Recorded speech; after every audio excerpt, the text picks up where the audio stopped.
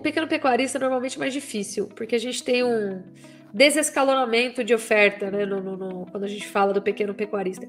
Qual que é o maior interesse do frigorífico? Né? Principalmente hoje que a gente trabalha com plantas maiores, mais bem estabelecidas e, e por aí vai. Uh, o grande problema do frigorífico é aumentar a produtividade, reduzir o custo da, do, da unidade produzida, né? Vamos falar assim. Então, ele tem um custo fixo naquela planta e normalmente, via de regra, quanto mais ele consegue diluir, produzir naquela unidade, mais ele dilui aquele custo fixo da planta, tá? Então, o grande desafio dele é lotar a escala. Claro, alguns momentos pode ser que esteja tão ruim a situação da carcaça, por exemplo, da venda do preço da carcaça, né, do, do preço de venda da carcaça, desculpa, que talvez seja melhor até manter as escalas curtas, né? Tá ruim, vamos pular dia de abate. Tá mais barato eu manter o custo fixo da unidade do que trabalhar com esse prejuízo enorme. Mas normalmente isso não é regra. Então, o que, que significa isso? Significa que, normalmente, se ele conseguir garantir grandes lotes, ele vai oferecer algum precinho melhor, ele faz melhores negócios com fornecedores maiores, né?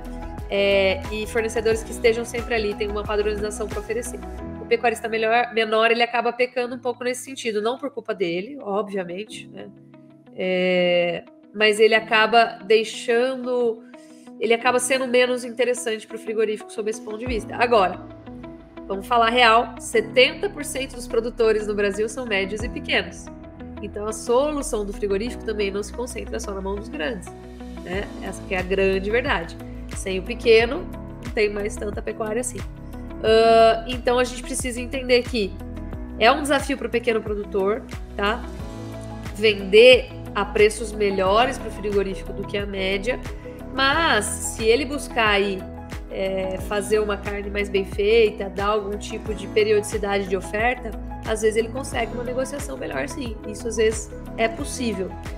E tanto para o pequeno como para o grande pecuarista, mas acho que para o pequeno é ainda mais fácil.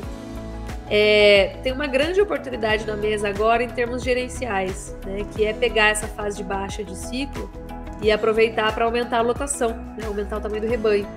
Para isso, ele tem que ter a fazenda preparada, ele precisa ter feito algumas reformas, reforma de pasto, aumentar a capacidade de suporte dessa fazenda. Mas tô falando isso por quê? Porque a gente está falando de é, frigorífico, de fase de baixa, que está todo mundo desanimado está mesmo.